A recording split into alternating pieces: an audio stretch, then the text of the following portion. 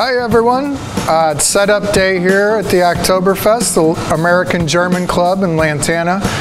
We're getting everything ready, cleaning up, stocking all the uh, shelves here with bratwurst and schnitzel and beer and Jägermeister and all kinds of wine, uh, any kind of delicious German food you want. We've got carnival games for the children and carnival rides out there. Uh, we've got great performers and bands, different polka bands and rock and roll bands. We've got different vendors selling dirndls and lederhosen and anything else you'd like. Uh, it's going to be a really good time. It's going to be October 7th through the 9th and the 14th through the 16th here on Lantana Road at the American German Club. Come by the Jaeger House and I'll pour you a Jägermeister. Cheers! Prost!